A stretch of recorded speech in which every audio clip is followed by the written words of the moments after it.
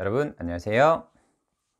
네, 여러분 최빈생의 터닝포인터 강사 문근영입니다. 자 오늘은 면접장 가면서 보는 영상으로 인사드립니다.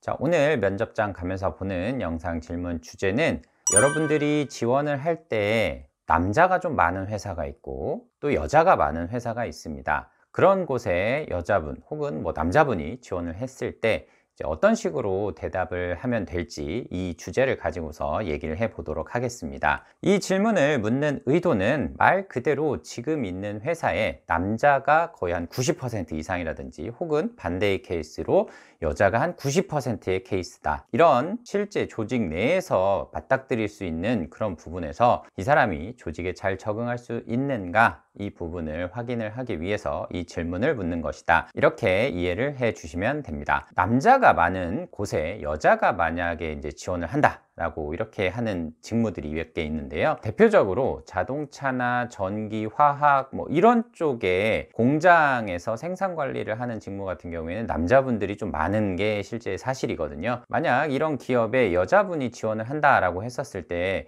면접관들은 당연히 이 사람이 잘 적응을 할 수 있는가 이런 부분에 대해서 물어볼 거예요. 그러면 이런 경우라고 하면 여자분들은 본인이 공학 전공을 했었을 때 남자 비율이 높은 곳에서도 조직 생활을 잘 했다.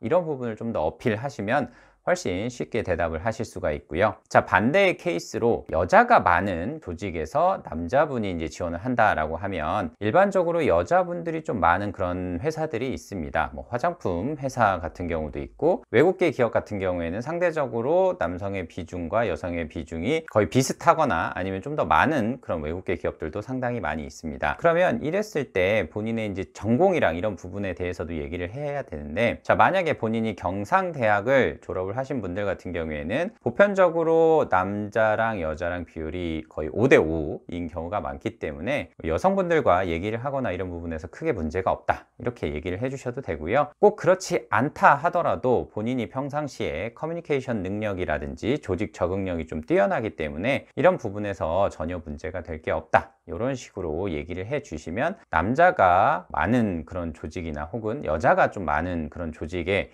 면접을 가셔서도 우선 대답을 하실 수 있지 않을까 이렇게 생각을 합니다.